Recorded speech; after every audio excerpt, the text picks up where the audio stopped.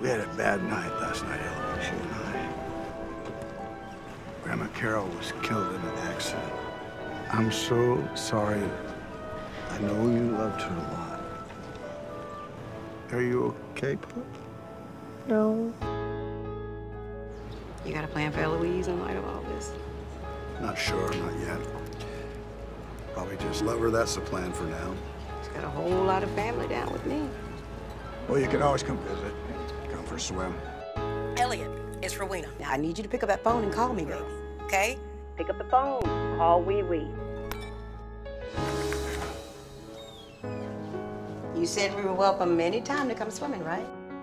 Hey, guys! Hey, baby. We need to start talking about a shared custody. Not gonna happen. You ever think about living somewhere else? Where?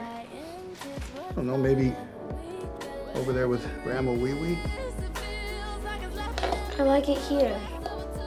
With you. I'm this girl's grandmother, whether you like it or not. Eloise is happy where she is. She has a father. Don't start with that. He's a junkie. You just want her away from us, the black people. This isn't about black and white, all right? This is about Eloise.